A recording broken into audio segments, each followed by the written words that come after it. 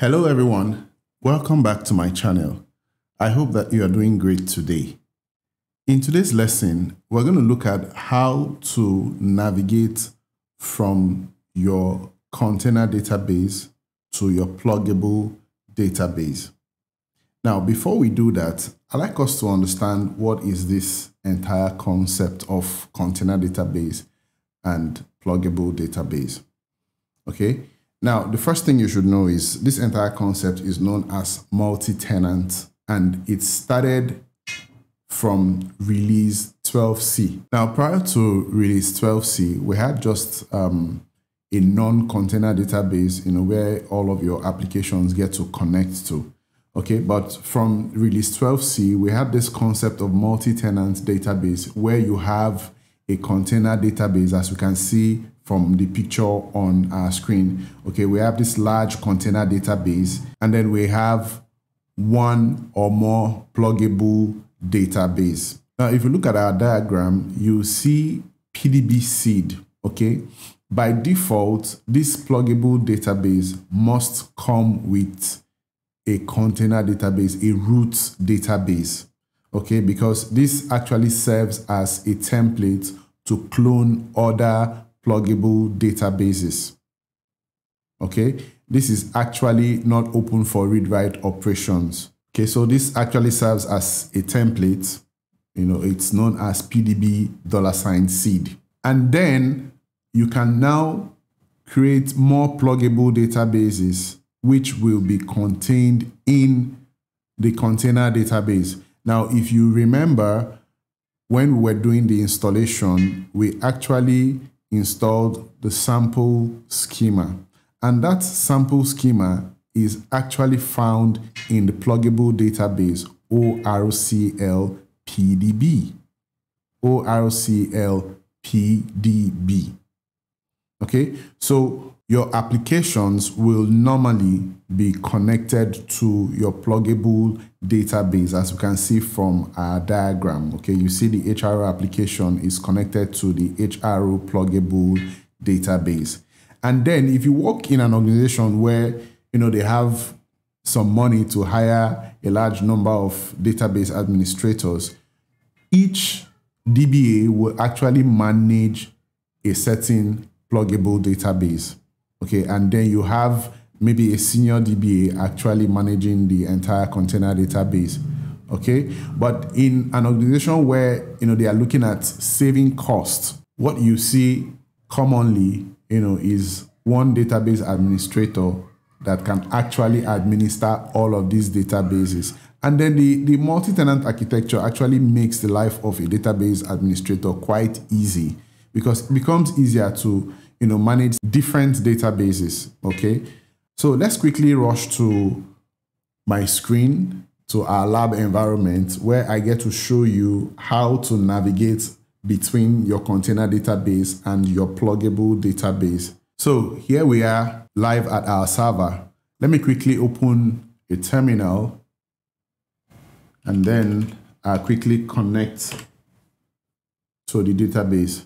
Okay, you can see connected to an idle instance. So I'll just issue the command startup. You should know this by now. Okay, so our database is open. Now, the very first time you connect to the database, you find yourself in the root database. Okay, you find yourself in the root database, which is, you know, the container database. So the command to get to know where which of the databases you are connected to, which of the containers you are connected to is, sorry, show con underscore name.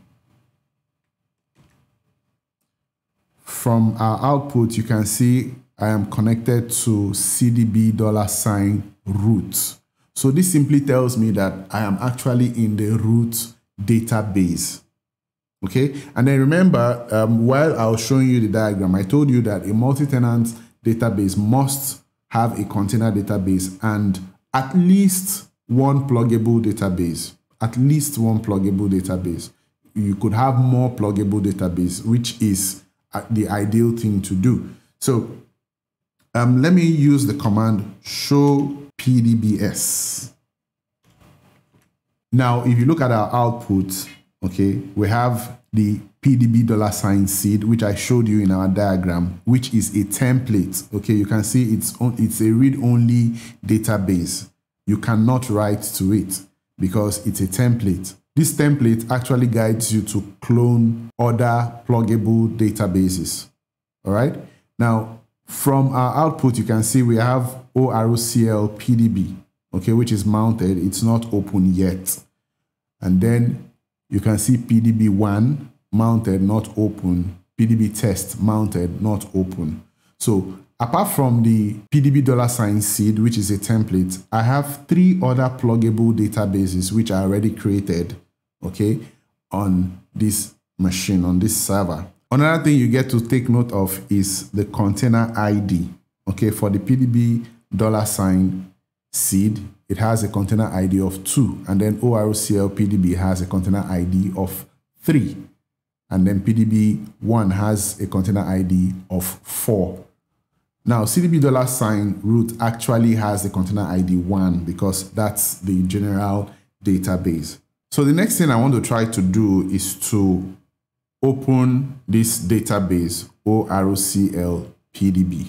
So what's the command to use? Very simple. Alter pluggable database ORCL PDB open. You can see the command alter pluggable database ORCL open you have to specify the name of the pluggable database you want to open. Okay, so I'll do this. You can see pluggable database altered. So if I do the command show con underscore name, it shows that I'm still in the root database. So how do I move from the root database to any of the pluggable databases?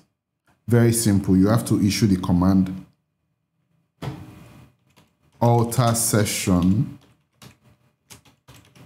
set container equal to ORCL PDB. So you issue the command alter session set container equal to ORCL PDB. So I'm moving from the root database to the pluggable database ORCL PDB. So I'll enter and you can see session has been altered. So if I issue the command again, show con underscore name, this con is short form for container. So show container name, that's what it means.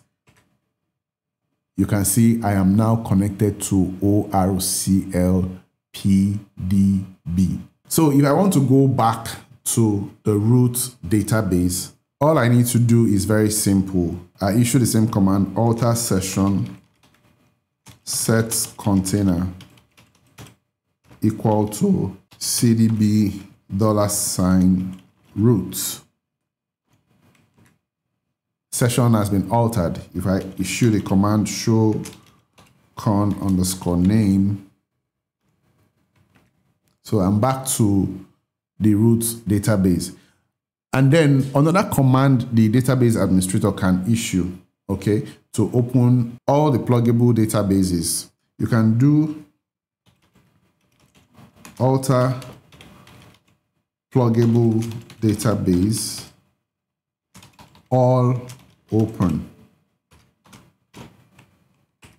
and then all the pluggable databases are being opened okay so let me shut it down. This was a practice. Let me shut down all the pluggable databases. Okay, and then there's something else I want to show you. Okay, so before I shut down the databases, let's do this again. Show PDBS. So you can see that all the pluggable databases have been opened. Okay, all of them are open in read-write mode, except for PDB dollar sign seed, which is a template. So let me close all the pluggable databases because I want to show you something now. Alter pluggable database all close immediate.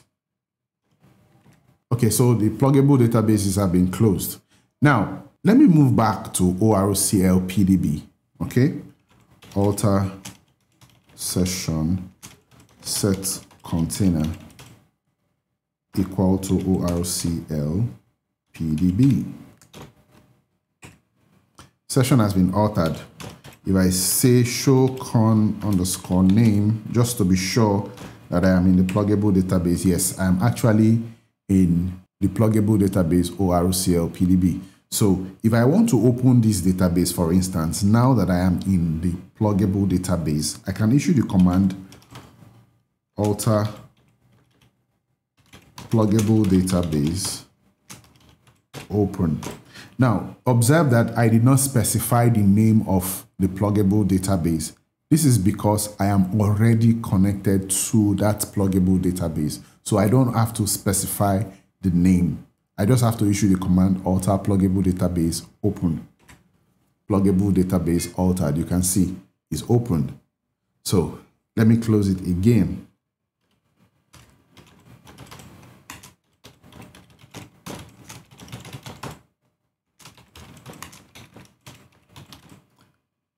alter pluggable database close immediate. Yes. And then alter session set container equal to cdb dollar sign roots. So I'm moving back to the roots database. Session has been altered show con underscore name and back to the root database. So this is how you move between your roots database and your pluggable database. So guys, thank you for watching this video. I hope you liked it. If you did, kindly share it widely and don't forget to hit the subscribe button and turn on the notification bell icon. And I'll see you in my next video. Bye for now.